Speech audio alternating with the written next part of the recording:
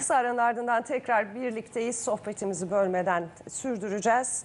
Çözüm süreci gündemin hiç, hiç kuşkusuz bir numaralı gündem maddesi. Özellikle Nevruz'da Abdullah Öcalan'ın mesajıyla bambaşka bir viraja girildi. Ee, artık bir kongre düşünülüyor ve burada silah bırakma ciddi anlamda planlanacak. Fakat mesajda eşme ruhu ifadesi öne çıktı ve farklı anlamlara çekildi. Kimi sevinçle karşılarken kimi tepki gösterdi. Ben hemen konuklarımızdan Vahdettin İnce'ye döneceğim. Neden? Çünkü Şah Fırat operasyonunun yapıldığı günün ertesi günü biz sizinle bir programda Evet. bir araya gelme şansına sahip olmuştuk. Ve siz orada demiştiniz ki bu aslında çözüm süreci için çok önemli bir şey. Çünkü e, Türklerin atası Kürtlere emanet edildi ve orada Türk bayrağı dalgalanıyor. Evet. Ve Nevruz mesajında biz aslında eşme ruhu ifadesiyle bir parçada bunu gördük sanki. Evet. Yanılıyor muyum? Ne dersiniz? Şimdi doğru tabii aslında ben öteden beri bunu vurguluyorum. Yani bu televizyonlara çıktığımdan beri hep e, tarihsel ortaklıktan bahsediyorum. Yani Kürtlerle Türklerin doğru bir İslam zemininde bütün ümmetin bir ortaklığı var. Türklerle Arapların, Kürtlerle Farsların hepsinin birbirleriyle bir ortaklığı var ama Türklerle Kürtlerin ortaklaşması çok farklı bir anlam ifade ediyor. Çok daha bereketli, çok daha verimli, çok daha ufuk açıcı, e, vizyon vizyoner bir birlikteliktir Kürtlerle Türklerin ittifakı. Çaldıran ruhundan bahsedebiliriz. Yani eşme ruhu dediğimiz zaman bu çaldıran ruhu demektir. Malazgirt ruhu demektir. Kurtuluş Savaşı ruhu demektir. Çünkü o birliktelik gerçekleştiği anda bu coğrafyanın kaderi değişmiştir. O düşünün yani Çaldıran'da Yavuz Sultan Selim ile İdrisi Bitlisi'nin Kürt beylerinin hepsinin onayını alarak bu Osmanlı'ya gönüllü katılım gerçekleştirmesinden sonra Osmanlı Devleti bir beylik aşamasından imparatorluk aşamasına sıçramıştır. Ve kanuni ile birlikte de bir cihan devleti haline gelmiştir. Bu anlamda yani eşmer ruhu belki küçük bir olaydır. Belki bu düşünülerek yapılmamıştır ama bazen siz kendiliğinde attığınız bir adım tarihi bir zemine oturur ve birdenbire bambaşka bir anlama bürünür. Çok düşünülmeden yapılmış olabileceğini düşünüyor Yani musunuz? şu siz? anda en azından lokal bir durum olarak değerlendirse derse ki orada IŞİD'in tehdidi vardı. Bom, bombalayıp duruyor zaten türbeleri. Türkiye devleti böyle bir durum e, ortaya çıkmasın, bir çatışmaya girmesin, sınırına daha yakın bir bölgeye getirme gereğini duydu. Bunu bu makul bir e, yorumdur. Böyle bir değerlendirme olması makuldür. Ama bu aynı zamanda sizin bilmediğiniz, düşünmediğiniz belki de düşünmediğiniz bir olayı da tetikler. İşte o Kürt-Türk ortaklaşmasının bambaşka bir veçesini ortaya koyuyor. İşte Türklerin atası, Osman Gazi'nin dedesi, babası Süleyman Şah'ın türbesi şu anda Kobani'de Kürtlerin coğrafyasında. Kürtlere emanettir yani bu. bu. Buradan şunu çıkarıyoruz. Biz buradan barış sürecinin önemini ortaya çıkarıyoruz. Yani barış süreci dediğiniz şey tam da bunun ifadesidir. Tam da ortaklaşmadır. Tam da eşmer ruhudur, çaldıran ruhudur, malazgirt ruhudur, kurtuluş savaşı ruhudur. Bunu öteden beri ben vurguluyorum. Bugün Türkiye etrafı yangın yeridir Türkiye'nin. Türkiye'nin önemini vurgulamak için bunu söylüyorum. Etrafı yangın yeridir ve Türkiye'de bir huzur ortamı oluşmuştur. Kürt-Türk ortaklaşmasının resmen onaylanması henüz gerçekleşmemişken bile fiili bir süreç olmakla birlikte çok bereketli olduğu ortaya çıkıyor. Suriye yanıyor, Irak yanıyor, daha ötede Mısır yanıyor, Libya yanıyor. Yani bunlar ortaklaştığımız coğrafyalardır. Bunlar bize çok uzak değildir, ayrı gezegenler değildir. Oradaki yangının her şey bize yansır bir şekilde. Çünkü biz tarihsel ortaklıklarımız vardır. Dolayısıyla Türkiye bir huzur adası mahiyetine bürünmüştür bu barış süreciyle birlikte. Bir de düşünün Kürtlerle Türkler arasında bu sorun ki 3 senedir bence sorunun sorun olmaktan çıkmıştı en azından e, bir anlaşmaya doğru evrilme sürecine girmiştir. Bunun realize olduğunu, tamamen her bakımdan onaylandığını düşünün. Türkiye'nin gerçekleştirdiği, gerçekleştireceği sıçramayı siz göz önüne getirin. Bir Çaldıran gibi, bir Malazgirt gibi büyük bir ufuk serecek önümüze. Ben sık sık yine tekrarlıyorum. Bunun anlamı bazılarının karikatürize etmek için ne Osmanlıcılık işte futuhat falan diye eleştirdikleri gibi bir şey değildi. Bu Müslümanlar arasındaki Orta Doğu'daki sınırların anlamsızlaştırılması olayıdır ve buna yönelik saldırılar da bundan dolayıdır. Yani biz henüz çok iyi kavramamış olsak bile bizim dışımızdaki bu coğrafyanın düşmanları bunu ne demek olduğunu çok iyi kavramışlar. O yüzden salvoları, saldırıları, eleştirileri çok serttir ve yoğundur. Bunu bir an önce akamete uğraması için ellerinden gelen her şeyi yapıyorlar ve yapmaya devam edeceklerdir. Kürtlerin ve Türklerin, kaderin ve tarihin kendilerini mecbur ettiği bu ittifakı gerçekleştirmekten başka seçenekleri yoktur. Abdullah Öcalan İmralı Adası'nda yerli düşünmeye başlamış bir insandır ve bu bu bilince varmıştır. Belki de bu bilinci en iyi temsil eden kişidir PKK ve HDP bileşenleri içerisinde. Dolayısıyla bu eşmer ruhuna vurgu yapması son derece önemlidir. Sizin de söylediğiniz gibi mesajın içinde kongre tarihini vermemiş olması gibi ağzımızın tadını bozan, belki eleştiriye e, sebep olan şeylerin biri yanında asıl üzerinde durulması gereken budur.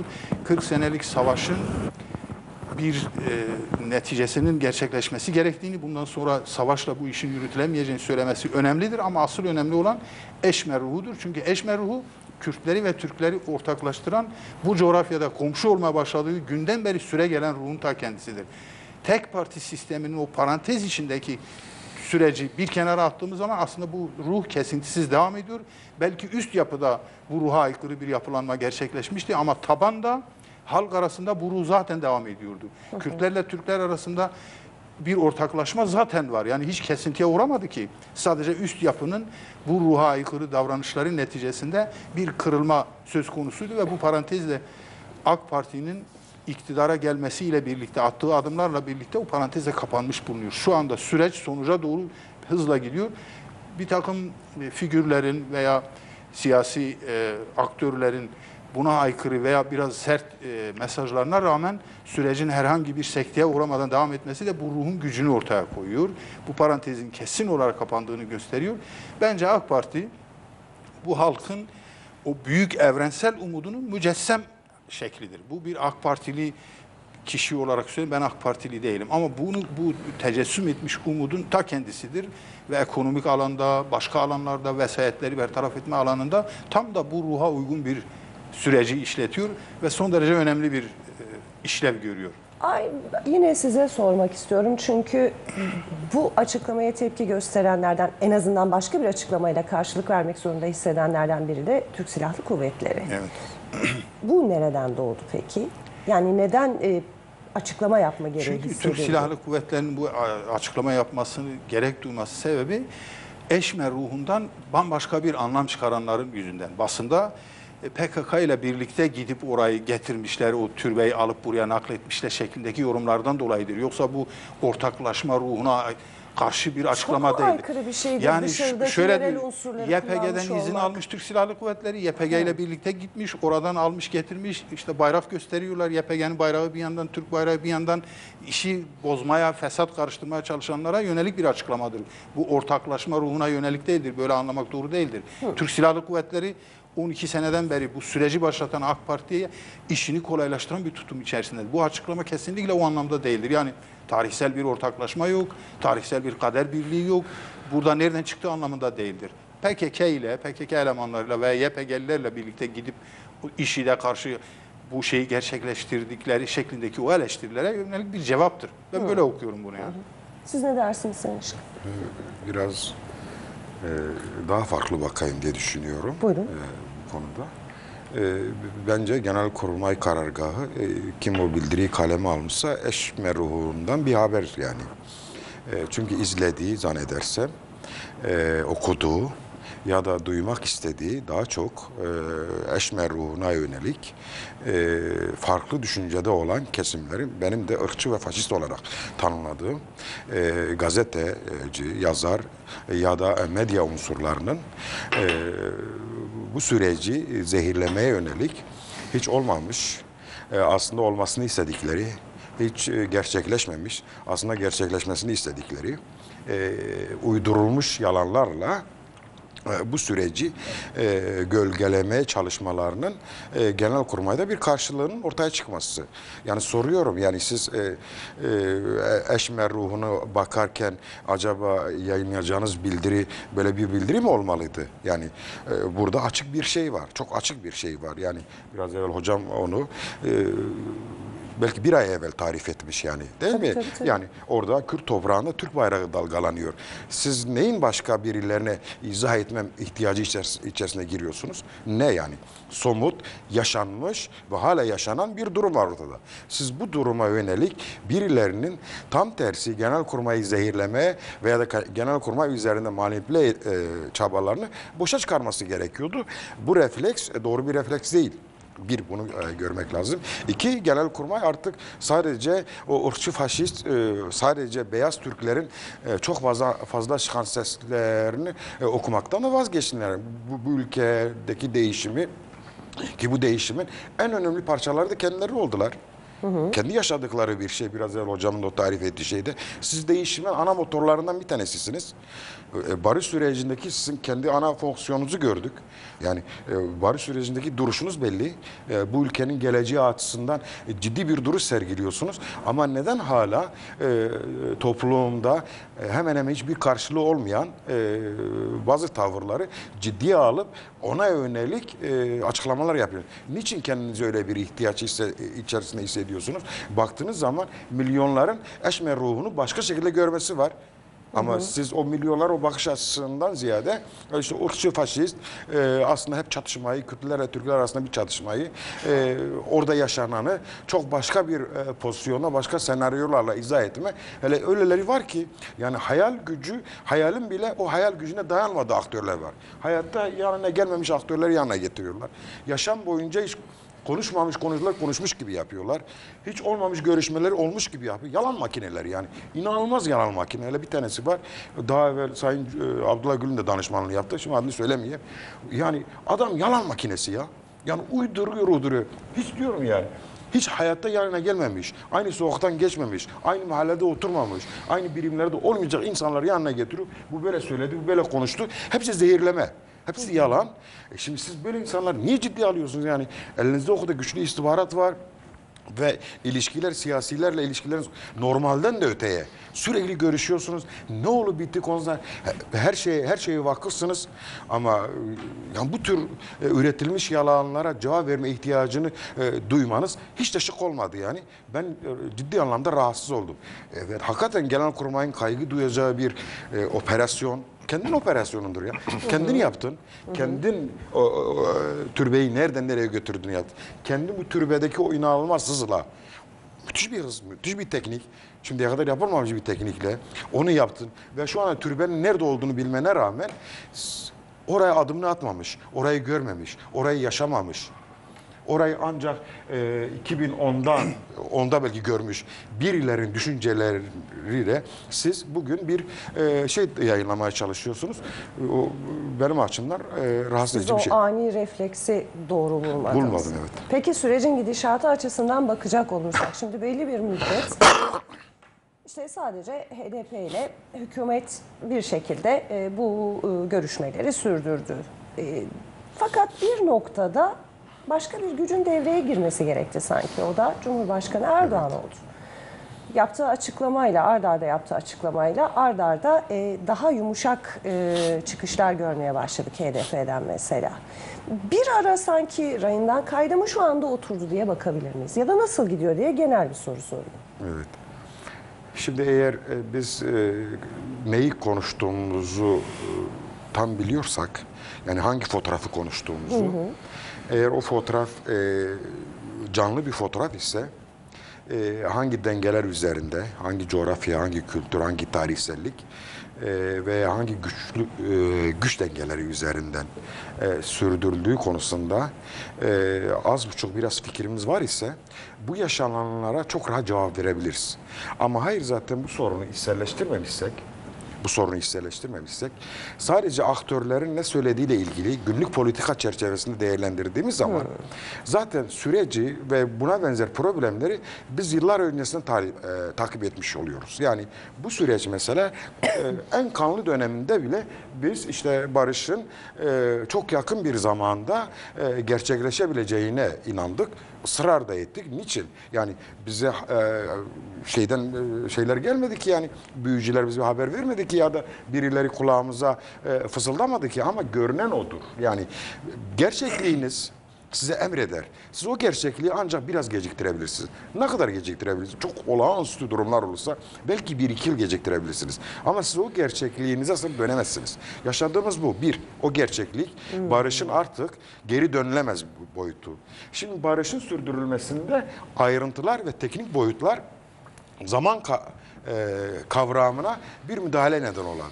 Son yaşadığımız olay da bu. Yani sürecin ana aktörü var Erdoğan. Ana aktörüdür Erdoğan. Sürecin Kürt tarafında da ana aktörü var Öcalan. Şimdi baktığınız zaman e, sistemin sistemin şimdiki e, karmaşık yapısından ötürü hükümetin bunu götürmesi gerekiyor. Ama götürdüğü konu ise şimdiye kadar hem Erdoğan'a hem iktidara hem toplumun büyük çoğunluğuna yönelik ölümcül saldırıların gerçekleştiği bir konu. Sadece bununla da yetinmiyor. Şu anda belge, bölgesel düzlem bu konu üzerine şekilleniyor. Sadece bu da yetmiyor. Uluslararası saldırılarda bu konu üzerinden oluyor. Şimdi böyle olduğu zaman hükümetin sadece gücü art, ayrı bir yere koyaraktan bunu götürebilme şansı yok. Bu normal diyelim ki bir işte işçiye e, Sayın Kılıçdaroğlu'nun e, işte o noterde şey yaptığı gibi bir zam meselesi değil. Bir köprü yapma meselesi değil. Anlatabiliyor muyum? Ya da bir havaalanı meselesi değil. Geç o pro, o sorunlarda bile nelerle karşılaşabiliyoruz. Bu çok tarihsel derinlik ve içinde kan olan bir mesele. Burada güç asla asla e, başka bir yere çekilmemeli. Güç canlıyla olmalıdır. Can. Şimdi baktığınız zaman gücü kim temsil ediyor? Sürekli iktidarda meşruiyetini e, tazeleyen ve halk oylamasına gelen bir aktör. Şimdi Öcalan'ın gücü Kürt siyasi hareketinden nereden geliyor? Bir güç probleminden geliyor değil mi? Yani bu tür meseleler haklılık, haklı ve doğruluk içe- içerisinde şekillendiği zaman savaşa ve çatışmaya zaten gerek yok yani. Şimdi e, aşiyan tabiatına aykırı değil mi?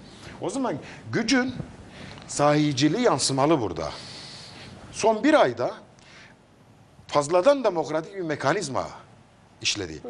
Bu fazladan demokratik mekanizma böylesine güce dayalı bir problemde caydırıcılığını koyamadı. Sorun yöntemin yanlışlığı değildi. Sorun teknik boyutunun yanlışlığı değildi. Onu demeye çalışıyorum. Ama e, Bazen bu konular Bu- öyle aşırı tabii, demokrasiyi bu- de kaldırmaz bu diyorsunuz. yani şey anlamda diyorum yani genel demokrasi çerçevesi zaten bir sorunu da mekanizma bir şiddet ve gücü emrettiğinden ötürü onu ancak bir güçle dizginleyebilir. Çok daha iyi anlaşılabilmesi için bir örnek vereyim. Gezi'de eğer Cumhurbaşkanı Erdoğan havaalanına inmeseydi bu ülke iç savaşa giderdi. Havaalanında inince yüz binlerce insan bunu karşı- karşılayınca diğer dalga neyle karşılaşacağını gördü. Çünkü dalga polise yönelik e, bir alışkanlıktır polise yönelik olan bir şey. Psikolojik anlamda da bariyer, bariyer yıkılmış birdir. Ama milyonların bir liderin arkasına gelmesi, bunu somutlaştırması bu barışa vesile oldu. O karşı devrim dalgasının kırılmasına neden oldu. Burada güç sulha vesile olan bir durum. Onu demeye çalışıyorum. Ve bu güç kendisini hissettiği zaman bugün Sayın e, Demirtaş'ın o açıklamasıyla karşı karşıya geldik. Ama eğer o güç kendini hissettirmeseydi bugün Say- Sayın Demirtaş bu açıklamayı yapma durumuyla karşı karşıya kalmazdı. Bu antidemokratik bir şey değil ve demokrasiyi reddetme şey değil. Bu doğa, doğasına uygun bir e, durumun davranış biçimindir. Ama meseleyi okuyamayanlar veya sadece işte o konuşmalar çerçevesinde değerlendirirler. Elbette işin de- dedikodu boyutuna Ahmet şunu söyledi, Mehmet bunu söyledi e, diye değerlendirip ki muhalefetimiz de öyle e, bakıyorsun.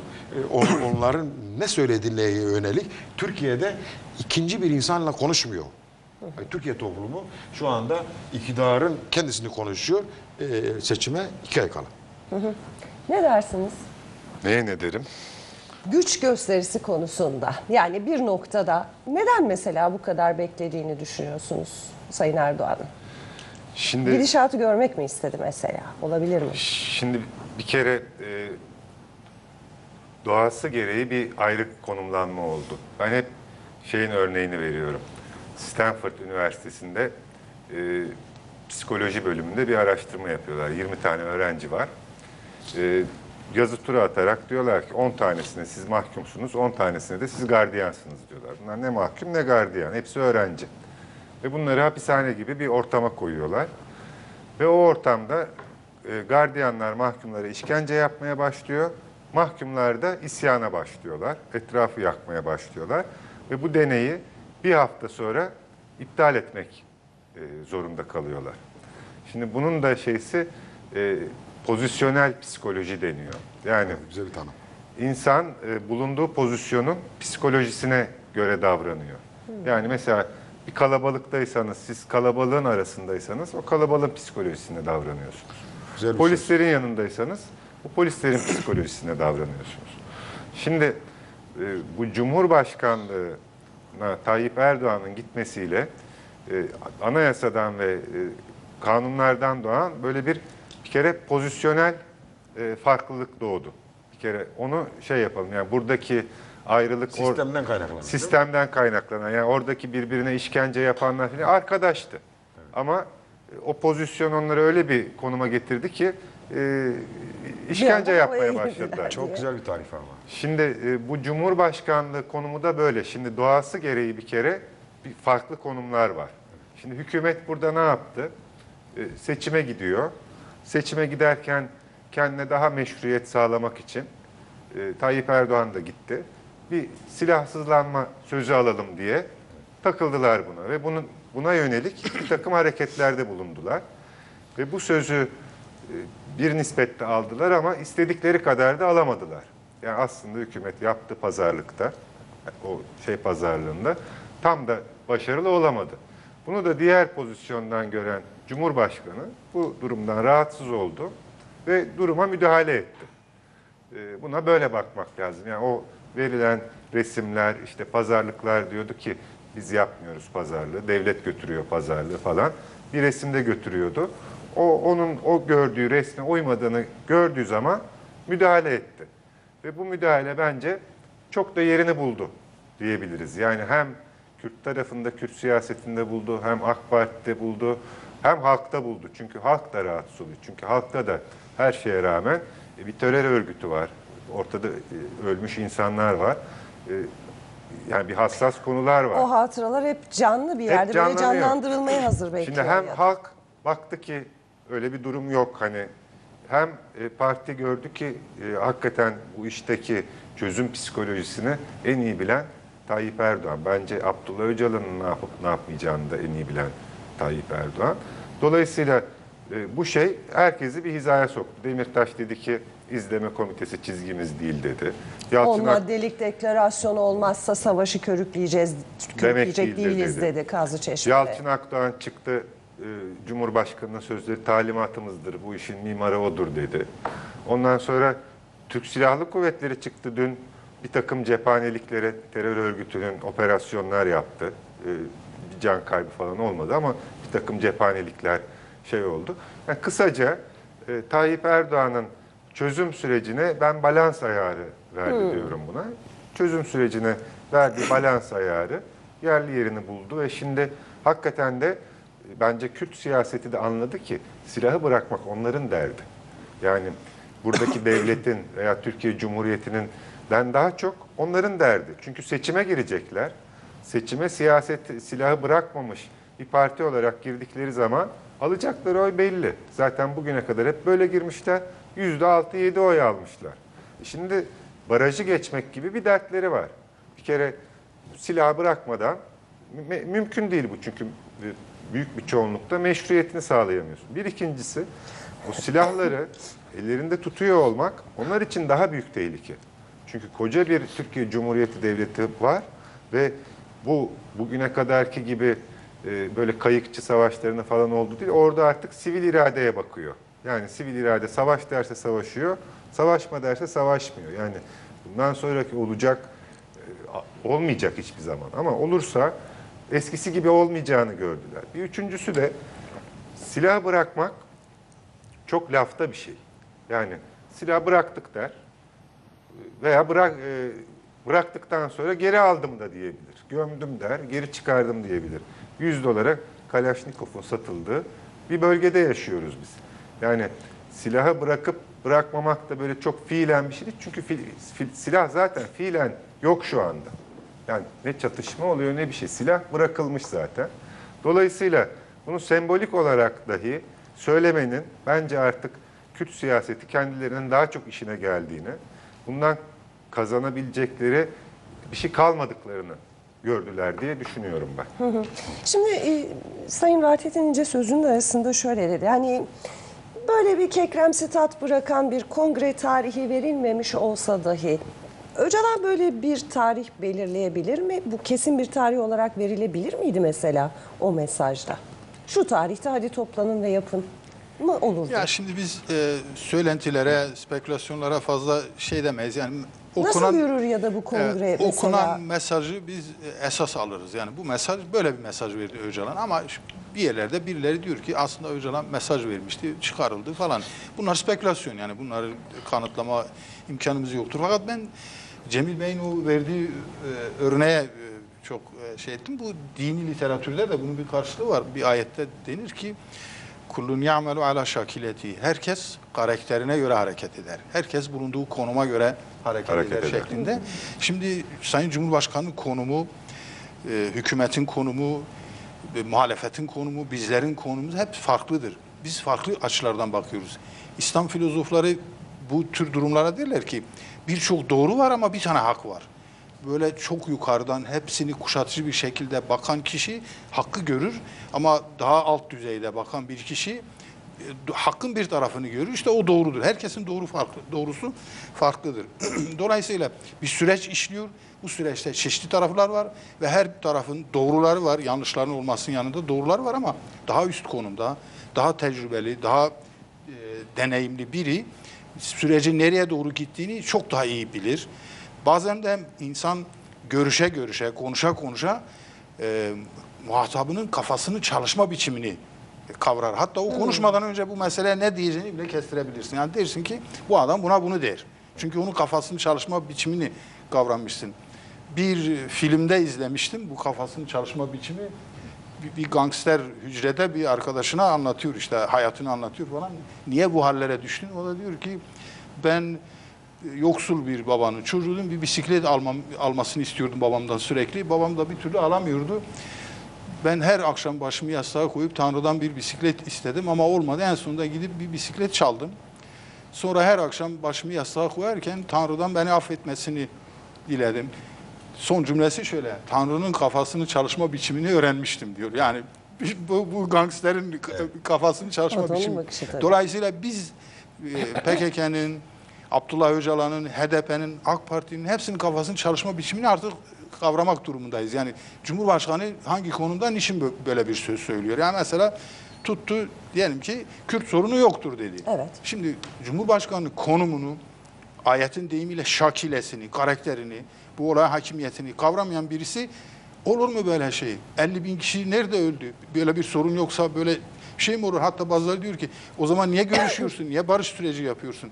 Halbuki Cumhurbaşkanı o konumu itibariyle sürecin e, mutlaka ve kesinlikle bir barışa doğru gideceğini görüyor. Yani bir de burada burada 3 tane 2 tane darbe girişimi olmuş. Evet. Sırf bu süreci başlattı Tabii, diye. tabii. Gezi ve 17 Aralık bu süreç bunları atlatan diye bir, olmuş. bunları atlatan, geride bırakan bir süreç sağlamdır. Çünkü işte biraz önce söylediğimiz o tarihsel olgulara dayanıyor. Toplumun birbirlerinin Türk ve Kürt toplumunun kafasında birbirini düşmanlaştıracak bir hatıra yoktur.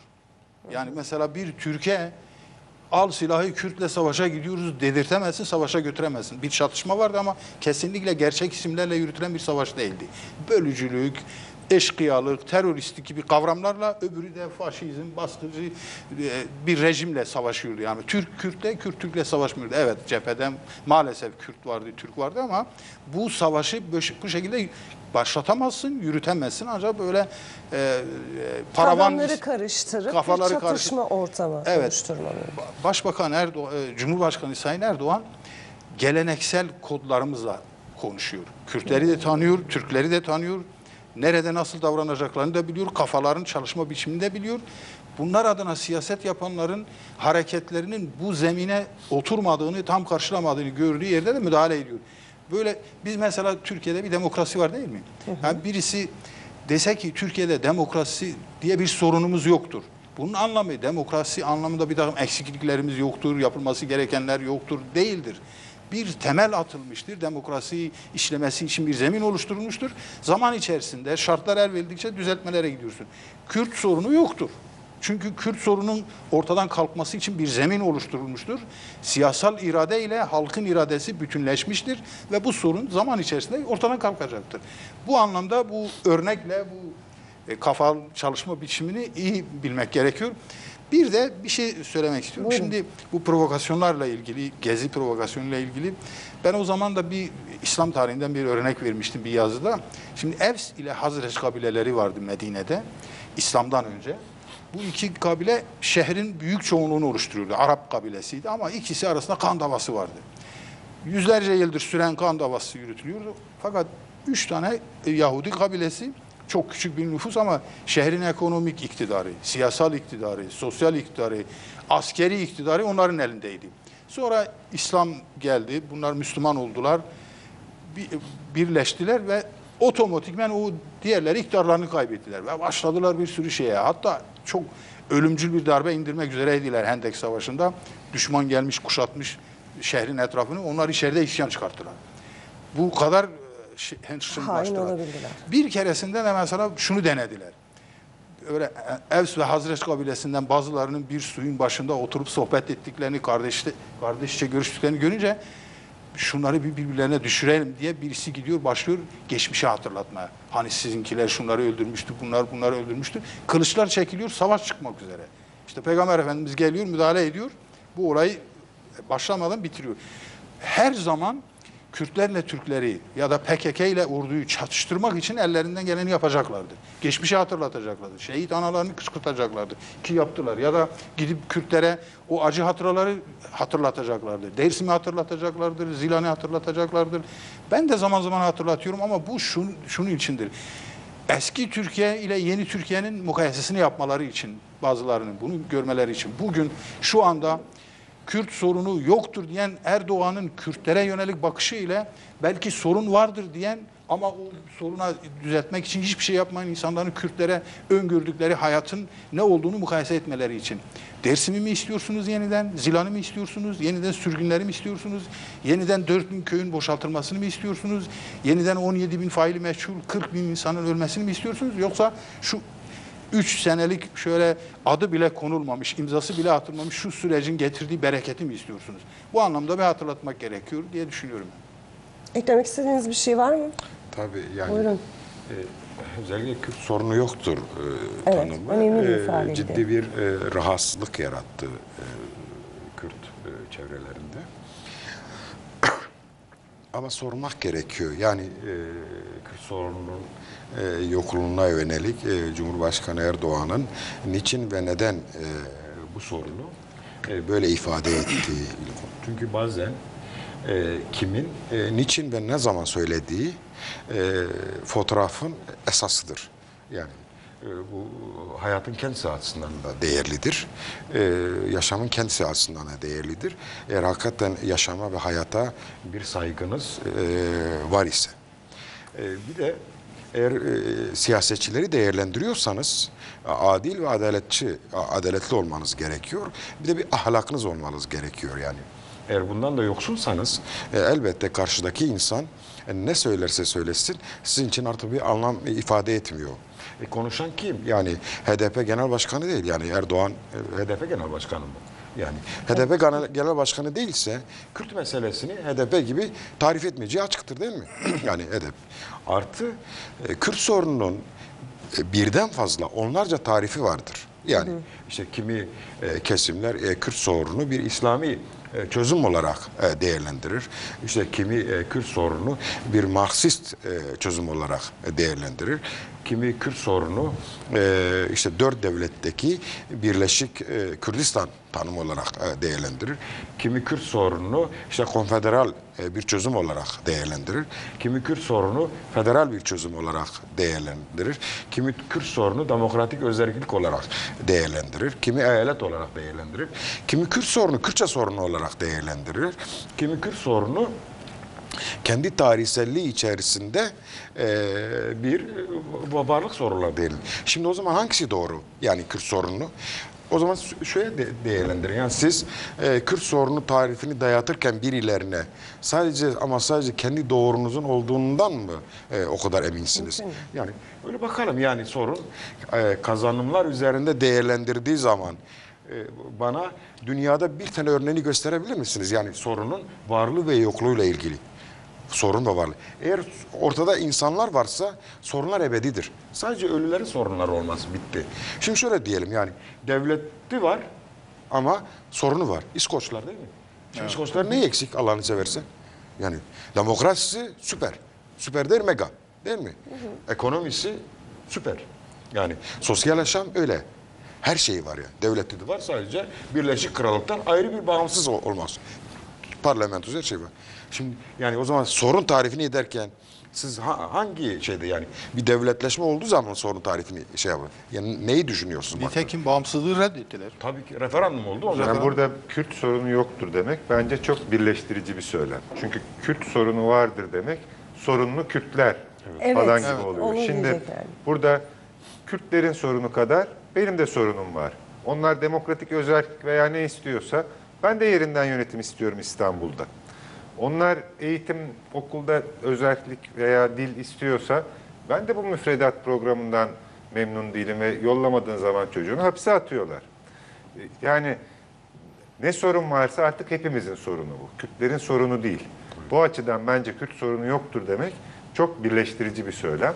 Ama tabii bunu e, ne kadar iyi niyetlen, ne kadar kötü niyetlen, ne kadar anlamadıkları için başka yerlere çekenler oldu. Ama işin özünde e, bu e, barış meselesine Tayyip Erdoğan kadar e, risk alan başka birisi yok ki. Buna var veya yok demeye de aslında e, en çok hakkı olan kişilerden birisi de o. Evet. Kimin söylediğine de bakmak lazım. Yani insana biraz vicdan ve ahlak varsa kimin söylediğine de bakarsın. Yani şimdi e, yani Kenan Evren Kürt sorunu yoktur dediği zaman Kürtler yoktur kastediyordu mesela. Yani Kürtler Onu var olsun da desin o adam. Diyelim ki ona o payayı da verelim. Yarın bir gün ölecek. En azından belki o konuda hayır bir şey vardır desin de. Belki demiştir de yani son ölmeden evvel değil mi? Bir şey söyledi vardır. ama Ya. Gibi bir şey söyledi yani. Hatta bir ara eyalet sistemine geçebiliriz diye şey hatıralarında vardı emekli yargıdan Şimdi yani o, o, Zaten o söylediği zaman. emekli yargıdan sonra. Şimdi o söylediği zaman bu- buradan anlarsın yani. Bu burada tabii, başka tabii, bir şey var. söyleyen kişi önemlidir. Ama Kürt meselesiyle ilgili bedel ödemiş, hala da ödeyen, bugün de ödeyen. iki tane darbe girişiminde buluşulmuş. Bir ya. insan söylediği zaman yani bir kere öfkeyle karşılamayacaksın. Kinle karşılamayacaksın. Ya acaba bu hangi amaçla söylüyor? Bu seni ateşler içerisinde bir sorun olarak görmek istemiyor.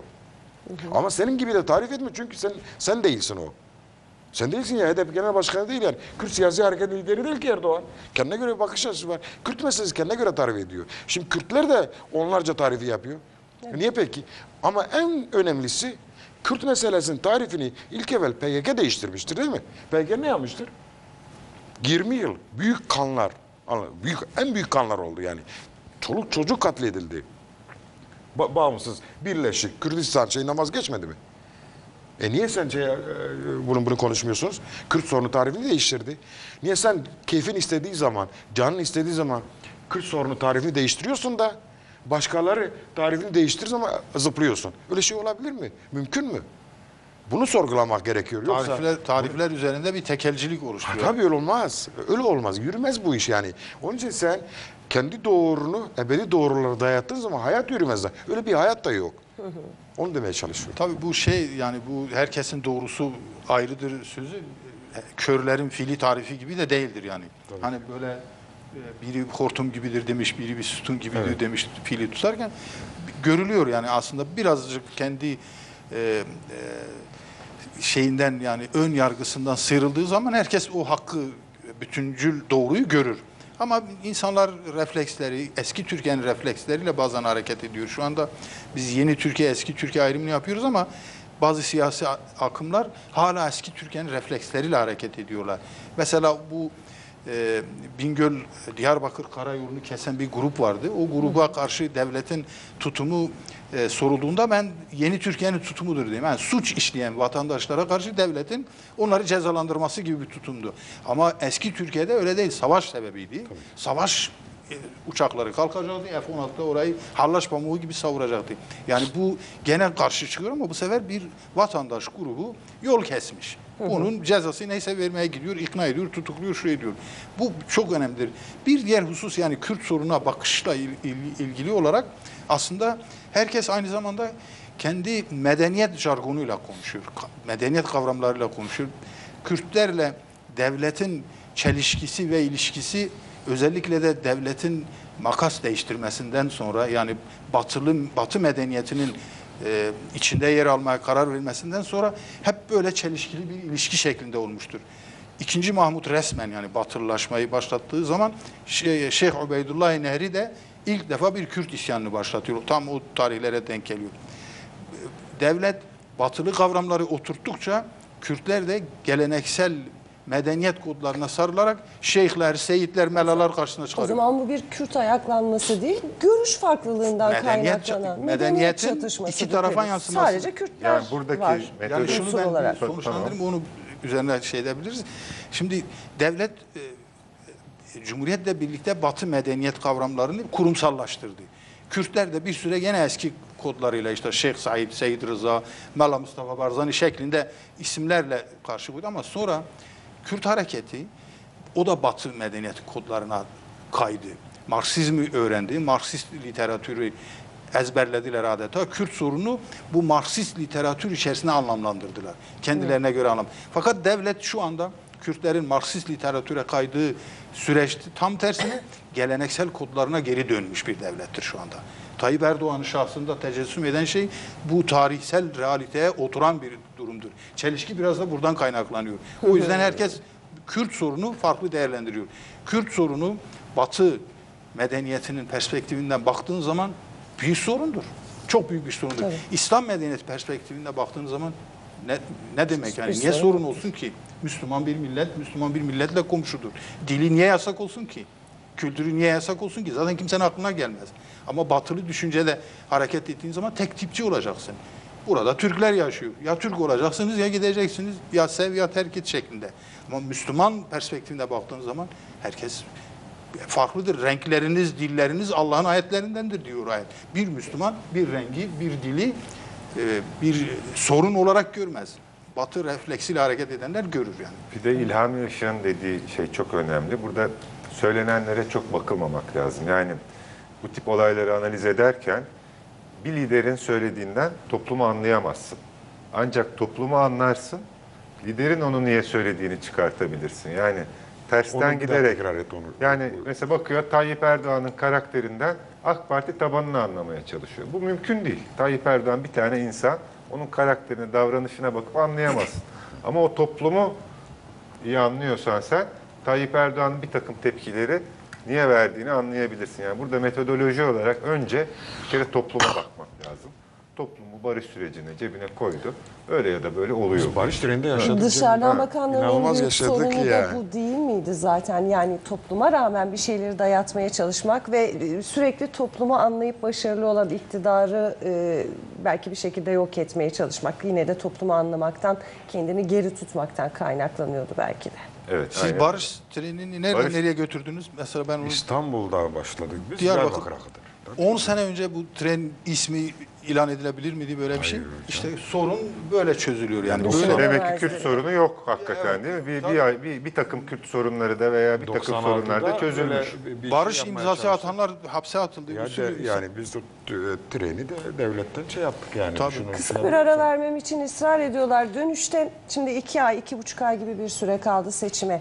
Bu sefer de farklı bir süreçte ilerliyoruz aslında. Her seçim öncesi yaşananlara baktığımızda gerçekten çok farklı bir ortam görüyoruz. Neden kaynaklandığını konuşacağız konuklarımızla ama kısa bir aranın ardından.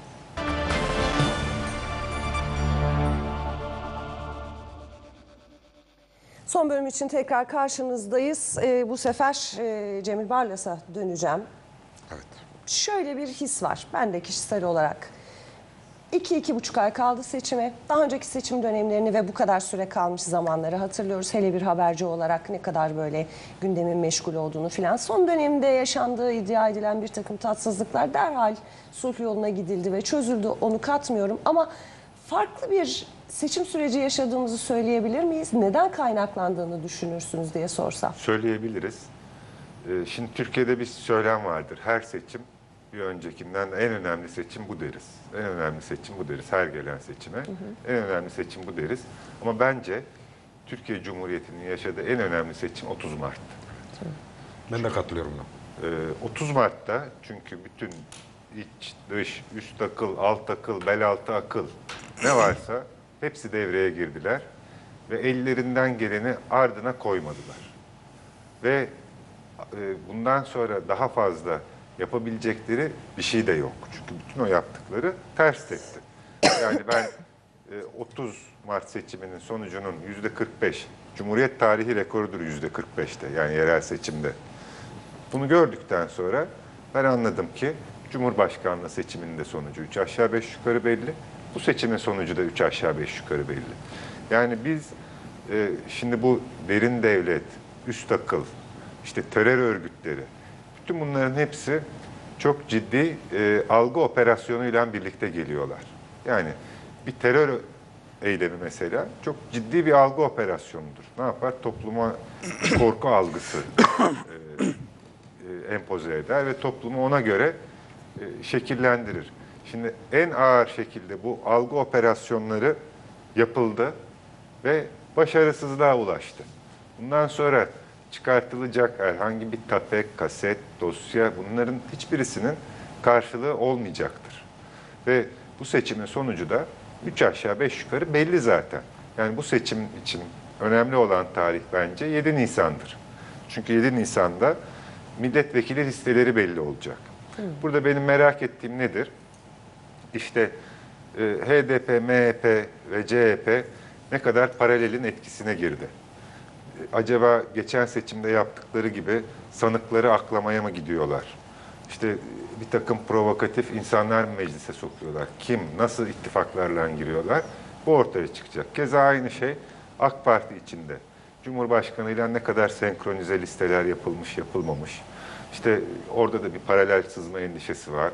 Ne kadar sızmış, sızmamış falan. Bunlar ortaya çıkacak. Bunlar ortaya çıktıktan sonra seçimin sonucu 3 aşağı 5 yukarı belli. Yani benim e, tecrübelerime, yaşadığım şeylere göre bir kere seçim kampanyaları sonuçları hiçe yakın değiştiriyor. Yani seçim kampanyası öncesinde ne anket yapıldıysa 3 aşağı 5 yukarı seçim sonucunda da o anketler çıkıyor. Yani seçim kampanyaları çok bir şey değiştirmiyor. Ufak tefek küsuratlar değiştiriyordur tabii. Bu çerçevede de baktığımız zaman nedir? Yaklaşık olarak 2 puan aşağı, 2 puan yukarı AK Parti 50 civarında oy alacak. Ee, CHP 25 civarında oy alacak. MHP 12-13 civarında oy alacak. Hep bunları 2 artı eksi yapabiliriz. HDP de 7 civarında alacak. 2 artı eksi. E bu sonuca göre de AK Parti 300, 330, 350, 400 neyse yani bu seçim sayıyı değiştirecek. Ama işin kompozisyonu zaten 7 Nisan'da bence belli olmuş olacak ve e, aslında e, Türkiye Cumhuriyeti tarihinin yaşadığı da en sakin seçimlerden birini yaşayacak gibi duruyoruz. Bilmiyorum İlhami abi daha iyi bilir. Bir takım bölgede provokasyonları denerler, denemezler ama provokasyonun da ismi koyulduğu zaman o da provokasyon olmaktan çıkıyor. Şimdi herkeste de bir provokasyon beklentisi var. Allah korusun bir şeyi patlatıp canımızı yakabilirler ama bu insanların provoke olup birbirine düşeceği manasına da gelmez. Şu noktada ama sormak isterim. Şimdi itici güçlerde aslında provokasyonlar dediniz ya yani 30 Mart'ta bütün kurşunlar harcandı aslında. Ee, ne yapılıp ne edilecekse her şey ortaya kondu. Peki bu hem seçmen açısından hem de hani ne kadar etki etmese de bu e, düzenlemeler açısından işte süreç açısından bir rehavete neden olabilir mi mesela? Bu da konuşuluyor. Yani ben zannetmiyorum bir rehavete e, şey olacağını. Çünkü yine toplumun önünde çok önemli bir proje var. Yani seçim önemsiz diyorsak e, seçimde önemsiz demek değil. Çünkü bu seçimden çıkan siyasi yelpazeye göre Türkiye çok ciddi bir yapısal değişikliğe de gidecek. E, AK Parti e, bu e, vaat ettiği yapısal değişikliği güzel halkın önüne koyabilirse çünkü aslında AK Parti'nin şu anda aslında vaat edebileceği tek şey e, başkanlık sistemi ve yapısal değişiklik çünkü diğer yol, su, hava falan bunlar zaten yapılıyor ve yürüyor. Yani bunlarda ben daha da 2000 kilometre daha da yol yapacağım e, veya bir ile daha havaalanı yapacağım demenin e, çok fazla bir esprisi yok. Tabii ki önemli hizmet yarışı ama burada vaat edilecek şey sistem değişikliği. Bunun Ben- iyi anlatılabildiğini düşünüyor musunuz? Şu ana kadar daha anlatılamadı. Şu ana Ama kadar bunu şu ana kadar bunu Tayyip Erdoğan anlatıyor Ee, ve günde 3-4 tane yerde anlatıyor. Ee, AK Parti'nin de seçim beyannamesi hazırlandığı zaman ben e, biliyorum ki e, AK Parti'nin de bir numaralı gündemi bu başkanlık sistemi olacak ve anayasa olacak. Yani bunun kaçarı yok çünkü hakikaten vaat edebilecekleri de daha ileri bir şey yok. Vaat edilebilecek en ileri şey. Çünkü başkanlık sistemi dediğimiz şey bugüne kadar koalisyonlarla işte e, bir takım kurumların e, iktidara müdahale etmesiyle mesela Anayasa Mahkemesi'ni kapatmaya çalışması, özelleştirmeleri iptal etmesi, koalisyonların birbirine düşmesiyle çok kötü e, günler yaşamışız. Bu günleri bir daha yaşamak istemiyoruz. Bugünkü bugüne kadar olan kazanımların kalıcı olmasını istiyoruz. Bunun için de en heyecan verici ve en elle tutulabilir proje başkanlık projesi. Bunu da ben AK Parti'nin hiç e, bunda bir çekince koyacağını e, düşünmüyorum. Zaten böyle bir şansları yok. Böyle bir başka bir alternatifleri de yok.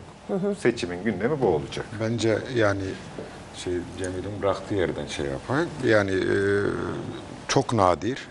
Belki işte e, 1920 ve 50 arasında böyle bir tabloyla karşı karşıya kalmışız muhalefetin. e, hemen hemen e, her alanda yokluğunun hissedildiği muhalefetsiz bir e, seçime doğru gidiyoruz. E, karşımızda bir iktidar var. O iktidar hem muhalefet hem iktidar. Yani hem kendisine de muhalefet ediyor hem iktidar. E, müthiş bir durum. Bu muhalefet açısından da e, son derece e, kötü ve berbat bir durum. E, anlaşılması zor bir durumda. Böyle bir e, duruma gidiyoruz. Birinci dikkat çekici yani. İkincisi de zannedersem e, Nisan ayıyla beraber biz daha çok bölgedeki gelişmelerin bize yansımalarını konuşacağız. Bu biraz daha erkene de alınabilir. En son Yemen'de yaşanan durum bizim coğrafyamız açısından, İslam dünyası açısından, Orta Doğu açısından Kerbela'dan bu yana en ağır e, fitnenin e, şu anda e, yeşerdiği ve yeşertildiği bir durumla karşı karşıyayız.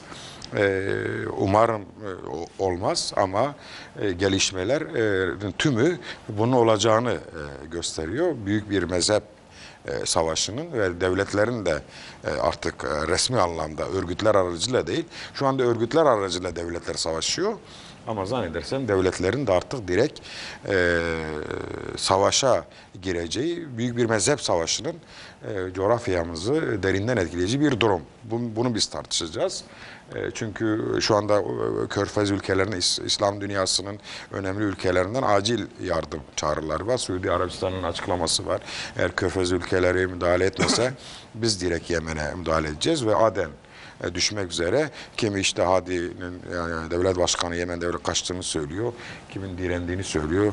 E, Buna benzer hala e, belirsiz şeyler var. E, Böyle bir e, durumu yaşayacağız diye düşünüyorum. Bir de eğer e, kara harekatı e, Nisan'da ki bütün hazırlıklar ona yönelik e, yapılıyor. E, Nisan ayının işte bilemediniz en fazla ikinci haftası. Çünkü gönderilen şeylere bakıyoruz ki e, lojistik malzemeler hepsi sıcağa yönelik yani kışa yönelik lojistik malzemeler değil. E, bu da e, en uygun tarihin işte Nisan veya bilemediniz Mayıs ayı e, seçimin olduğu bir dönem. Ama ana özelliği bu seçimin e, bir kurucu meclis ya da geçici bir meclis bana göre bir sistem değişikliğine doğru e, gideceğiz başkanlık sistemine. E, bu e, bu meclis bir buçuk veya en geç iki yıl içerisinde kend, tekrar kendisini yenileyecek.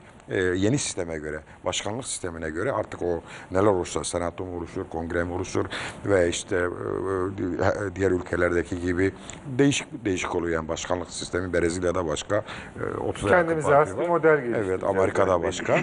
Hangisine karar verirse ben bu meclisin e, en fazla iki yıllık e, ömrünü ve artık Türkiye Cumhuriyeti'nin yeni bir sisteme geçişinin e, hazırlığını her yönüyle yapan bir meclis olduğunu düşünüyorum. Gelişmeler bunu böyle e, emrediyor gibi görünüyor. Ama seçim olarak o kadar kırdılı bir 30 Hayır, Mart hayır. kadar olmayacak. Hayır. Yani bir biz Kürt meselesiyle ilgili Nevroz'da e, işte e, Kürt siyasi hareketinin lideri Öcalan'ın bir zihniyet değişikliğini e, emrettiğini gördük. Nedir bu? Türkiye Cumhuriyeti'ne karşı silahlı mücadele son. Bu ne demektir? Düşmanlığa son. Yani siz AK Parti ile bir rakip mücadelesine gireceksiniz. Yani ama AK Parti ile bir düşmanlık asla sizin siyaset yapma şeyinizi emreden bir durum değil. Sosyolojiniz yeter. AK Parti eleştirirsin, yanlışlarını, fazlalıklarını, eksiklerini. e, bu eşyanın tabiatına uygun Aslında bir bir durum. muhalefet görevi yüklüyor. Tabii ki. ciddi Sen rakibin düşmanın değil. Yani o mektup düşmanla son. Ama muhalefette bütün bu düşmanlık şeysi var yani CHP, MHP de Zaten bu. şu anda şey yapılmıyor. Eleştiri yok, düşmanlık. Onun için Düşmanlık muhalefet var. yok zaten. Şu anda aslında yani e, CHP ile MHP'nin bir seçim için gerekli olan motivasyonu da yok. Yani Türkiye'nin e, dağ gibi önemli bir sorunuyla ilgili, Kürt sorunuyla ilgili iki partinin de sadra şifa bir tek e, söylemi yok. Dolayısıyla yeni Türkiye'yi temsil e, AK Parti'de tecessüm etmiş, somutlaşmıştır. Kürt sorunu barış süreci bağlamında da HDP bu kulvardadır. Yani yeni Türkiye e, kulvarındadır. Ben seçimlerin e, garantörünün halk olduğunu düşünüyorum. Yani halkın evet. önemli. Bu önemli fakat bu popülist bir söylem değil. Yani öteden beri herkes söyler işte halkın iradesi falan ama bunun bir tarihi vardır. Ta Cumhuriyet'in kuruluşundan bugüne kadar halkın seçimlerle ilgili enteresan bir tavrı vardır. Biz hep tek parti döneminin o baskılarından, ezanı yasaklamasından, Türkiye'de Kürtleri ezmesinden bahsederiz ama dipten bir dalga da hep rovanşını ala ala bugüne kadar gelmiştir. Türkiye halkı 1923'ten başlamak üzere rovanşını hep almıştır dipten bir dalga gibi muhtarlıkları önce almıştır. Sonra nahiye müdürlüklerini, sonra belediye başkanlıklarını, sonra parlamentoyu, sonra cumhurbaşkanlığını ve en sonunda da başkanlıkla bunu taşlandıracaktır. Yani halkın böyle enteresan bir rovanş alma biçimi vardır. İnanılmaz bir endazesi de vardır. Tabii. Katılır mısınız? Meclisin noktası virgülüne nasıl dağılacağını da aslında birbiriyle konuşmadan Halk- karar Evet, verebilir. halk kendisiyle, kendi halk zihniyetiyle tartışmayla ört. değil. Evet. Türkiye halkının çevremizdeki diğer halklarla ayrışan bir diğer özelliği de değişimi zamana yayarak ve sağlam gerçekleştiriyor. İran gibi reddederek. mesela İran bir anda patlıyor, sonra 100 sene yatıyor. Dolayısıyla şunu söylemeye çalışıyorum yani Türkiye'deki değişimin, başkanlığa doğru giden sürecin değişimin garantörü halktır ve halk ne zaman kimin arkasında duracağını da bilir. Şimdi mesela daha önce e, Menderes halkın iradesiyle aslında örtüştü ama halk Menderes'in Menderes sürecinde şunu da gördü. Henüz o e, devrimi, o değişimi kalıcı hale getirecek bir gücünün olmadığını gördü ve bundan sonraki liderlere çok nazik bir ölçüyle destek verdi. Yani mesela Erbakan, Erbakan'ın iktidarına, Erbakan'ın söylemleriyle halkın iradesi arasında çok fazla bir çelişki yoktu. Ama Erbakan'a da bir denemesi açısından adeta sen şimdilik şöyle bir dene geri gel der gibi bir destek verdi. Fakat Erdoğan'ın şahsında, AK Parti'nin kadrolarının şahsında bu değişimi yürütecek bir iradenin, siyasal iradenin oluştuğunu gördü ve desteği sağlam verdi. Her seçimde de bu desteği güçlendirerek verdi. Dolayısıyla bu seçimde benim anladığım kadarıyla bu tarihsel süreci göz önünde bulundurarak söylüyorum siyasal iktidar, siyasal iktidarın ve muhalefetin söylemlerinden bağımsız olarak halkın bu eğilimini göz önünde bulundurarak söylüyorum. Bu seçim o e, son noktayı koyacak başkanlık değişimini gerektirecek bir şekilde noktalanacaktır. Yani bu şu kadar sayıyla bu kadar sayıyla mı olur neyle olur bilmiyorum ama illaki o muhtarlıkları geri alan halk durmadı. Oradan sonra nahiyeleri nasıl aldı, belediyeleri aldı, parlamento aldı, başkanlığı da alacaktır. Zaten benim dikkatimi çeken bir şeydir. Cumhurbaşkanı, Cumhurbaşkanı olduğundan beri neredeyse bir aydır, iki aydır sürekli muhtarları Evet. e, evet. sarayda. Bugün de esnaflarla Evet. bir araya geldi. Bunları Hatta sürekli geri getiriyor. Yani sürekli çağırıyor, onlarla temas kuruyor. Bu sembolik bir anlatımdır, sembolik bir durumdur. Muhtarlıklarla bu işler halledilmiştir çünkü zamanında ve buraya kadar gelmiştir. BDP'nin ya da HDP'nin bu yeni Türkiye'de yer alması da İlhami Bey'in söylediği gibi yani AK Parti'yi düşman gibi görmesi şeklinde değil, rakip gibi görmesiyle ancak o süreçte yerini alabilecek ve bu ona ileride başkanlık sistemindeki muhalefetlik görevini de verebilir yani. En büyük muhalefet olma vizyonu da verebilir. Dolayısıyla şu anda e, e, Türk yeni Türkiye'de halkın iradesine dayalı tek bir parti var. Bu partizanlık anlamında söylemiyorum. Hepsine eşit mesafede ama gördüğüm süreç budur. MHP'nin, CHP'nin seçimde motivasyonu sağlayacak bir söylemleri yoktur. En azından HDP'nin barajı aşmak gibi bir motivasyonu var. Etrafını motive etmeye çalışıyor. Ha gayret, biraz daha gayret aştık, aşacağız söylemi vardır. AK Parti'nin ise anayasa, yeni anayasa yapmak, başkanlık sistemini getirmek gibi büyük bir ufuk koyuyor halkın önüne. Dolayısıyla seçmen bunu yap. Öbürleri ne yapıyor? Sana şunu yaptırmayız, bunu yaptırmayız. Bazen Sayın Selahattin Demirtaş'ı da ben dinlediğimde hayret hayretler içinde kalıyorum. Tabanı yeni Türkiye'ye uygun bir taban ama söylemi garip bir şekilde eski Türkiye söylemine benziyor. Seni başkan seçtirmeyeceğiz, seni başkan seçtirmeyeceğiz. Birden ben e, 80'li yıllarda Necdet Calp'ın televizyonda Özal'a köprüyü sattırmayacağız sana, sattırmayacağız söylemiyle örtüştüğünü. Bu çok yani yanlış bir söylemdir. Gerçekten de o motivasyonla da örtüşmüyor. Kendi motivasyonuyla da örtüşmüyor. Burada Evet. bitirdiysen Bitirdim sayılır. muhalefetin e, bu kadar kifayetsiz davranması için bir sebep yok aslında. Şimdi muhalefet de çok ciddi iktidarda. Bir kere bakacak olursak yüzlerce belediyesi var. Yani Evet. neredeyse AK Parti kadar belediyesi var. E şimdi bütün devlet kurumlarında, anayasal kurumlarda yerleşmiş kadroları var. Hem CHP'nin hem MHP'nin kadroları var. Bunlar da iktidarda. Artı bunların kurucu irade olma pozisyonu var şu anda. Yani oturup CHP AK Parti ile bir şekilde anlaşsa, zaten 70 tane maddede anlaşmışlar mesela. Oturup bunu çıkartıyor olsa Türkiye'nin kurucu iradesi olacak, iktidar olacak bir anda. Ya anayasayı yapan bir güç iktidardır. Şimdi bunu bir türlü akılları buraya gelmiyor. Çünkü bunlar ne yazık ki kasetlerle dizayn edilmiş, kendi iradesini kaybetmiş siyasetçilerle dolu bu partiler. HDP de böyle, CHP de böyle, MHP de böyle. Yani Türkiye'nin anayasadan daha önemli sorunu bu tuzağa düşürülmüş, bir şekilde esir alınmış e, kasetlerle, tehditlerle, mahkemelerle her neyse bu siyasetçi ve iş adamlarının e, çünkü medyayı da etkiliyor. Bunlardan bir kere kurtulması lazım. Biz anayasayı niye yapamıyoruz ya? Dört tane parti 70-80 tane maddede anlaşmış. Çıkartmıyorlar. Demek ki şimdi burada başka bir güç devreye giriyor. Çünkü sen gerçekten amacın oy almak oluyor olsa al işte anayasayı yaptım ben, kurucu iradeyim ben diye seçmenin karşısına çıkmaktan daha avantajlı bir durum olabilir mi? Hayır olmaz ama bunlar ne istiyorlar? O yerleştikleri kurumlardaki elemanlarını koruyabilsinler. Mahkemeler yollarıyla, işte bir takım kurumlar yollarıyla onu bunu tehdit etsinler. iktidarı karıştırıp devşirsinler. Hala bu yola gitmek istiyorlar. Halbuki bir bıraksalar onu, normal siyasete dönseler o kadar çok oynayacakları alan var ki ama işte bu esaret e, durumundan dolayı yapamıyorlar diye düşünüyorum ben. Az önce Sayın İnce'nin bahsettiği şekilde mesela Demirtaş'ın seni başkan seçtirmeyeceği sözü bu yeni anayasanın da olmaması demek. Bu çözüm sürecinin de ciddi anlamda sekteye uğraması demek. Ama işte Aynı halk, şekilde halk Sayın bunu görüyor yani. Işın, bunu görüyorum işte Tabii ben işte. bunu çok merak ediyorum. Çünkü öyle bir konudan bahsediliyor ki fazlasıyla bölgeyi alakadar eden Sayın Işık'ın da söylediği gibi ve e, spesifik bir konu. Sizler aydınlarsınız. Hani bunu başkanlık sisteminin ne kadar Türkiye'yi uçuracak bir şey olduğunu e, anlayabilirsiniz. Ama halk için acaba bir gömlek Aslında halk büyük mü? daha iyi Ya anlar. Demirtaş- Anlıyor mu? Halk belki aydınlardan çok daha iyi anlar. Demirtaş sanki Tayyip Erdoğan'ın beşte biri oy almamış da beş misli oy almış gibi konuşup da gerçek bir durum değil. Böyle bir şeysi yok ki onun. Halk ile aydınlar arasındaki fark yani diyelim ki ben kendimi aydın saymıyorum ama aydınların bir meseleyi anlatma biçimi, onu formüle etme, bir şekilde sistematik bir şekilde anlatma yetenekleri var ama halkın da bunu sağlayan bir dinamikleri vardır. Dolayısıyla halk anlar. Bütünsel olarak düşündüğünüz zaman halk anlar. Birer birer ele aldığın zaman biri çobandır, biri bakkaldır, biri esnaftır.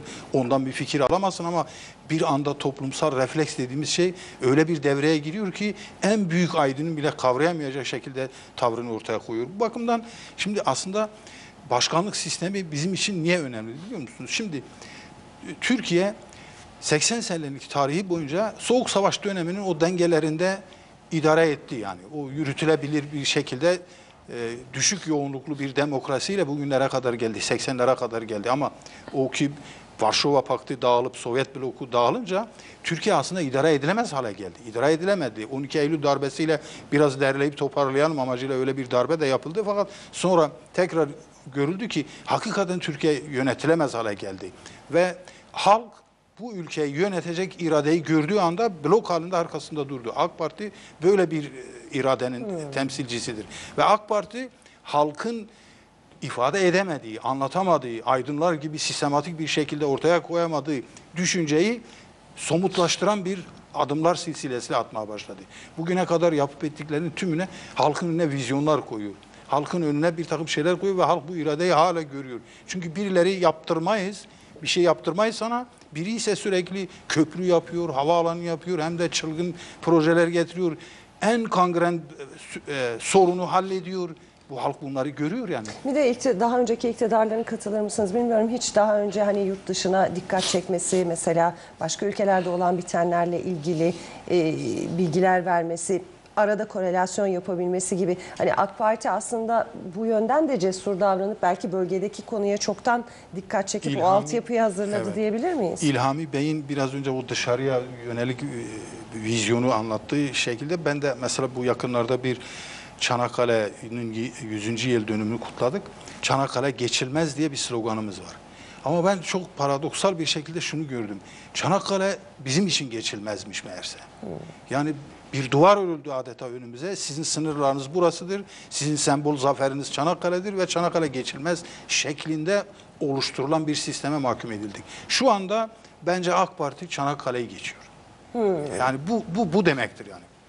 Son iki dakika Ben kaldı. söyleyeyim bir şey. Celil söylesin. Ee, Bu toplumun genetik kodunu biliyorsanız siz iktidar da olursunuz, her şeyde olursunuz. Ama bu toplumun genetik kodunu bilmiyorsanız bu toplumu Amerika'dan sesleneceksiniz ya da Şam'dan seslenecekseniz siz bırakın muhalefet olmaya sönersiniz. Bu toplumun genetik kodunda çatışma yoktur. Bu toplumu çatıştırmak için her şey denendi. Yani işte geçmişte e, ne oldu? İşte Menderes'i astınız. Dünyanın en nazik insanı. astınız ama bu toplum onun devamı olan partiye verdi. Siz 80'lerde bu toplumun bütün çocuklarını birbirine kırdırttınız. Gittiniz spesifik yerlerde işte Maraş'ta, Sivas'ta, Çorum'da mezhep savaşı bile yarattınız. Ki öyle bir yaratıma herhangi bir ülkede olsaydı iç savaş olurdu. Bu toplum size vermedi. Darbe yaptınız, Özal'a verdi. Anlatabiliyor muyum? Yani siz bu toplumun genetik koduna aykırı hareket ettiğiniz zaman bu toplum sessizliğini size sizden iktidarı almakla ve sizin yerine yeni bir iktidar yaratmakla yapmıştır. Bugün ise çok daha gelişkin bir şey olmuştur. Artık sadece sessizce izlemiyor. Sadece sandıkla cevapla yetinmiyor. Alanlara çıkıyor. Ben senin arkandayım diyor. Herkes hesabını buna göre yapsın diyor. Aydın tanımında burada bir aydın toplumunun karşısında olamaz. Toplumunun ancak önünü açar. Toplumdan daha akıllı da değildir. Toplum en akıllıdır. Toplum her şeyi en iyi bilir. Ben toplumdan bunu daha iyi bilirim havasında da olmaz. Ancak toplumunun önünü açmak gibi bir görevi var, vardır aydının. Topluma sen böyle olacaksın deme yetisi yoktur. Bence bu yaklaşımda da bir sorun var aydın tanımında. Peki. Çok teşekkür Biz ediyoruz teşekkür efendim ederiz. katıldığınız için. İzlediğiniz için size de teşekkür ediyoruz. İyi geceler diliyoruz.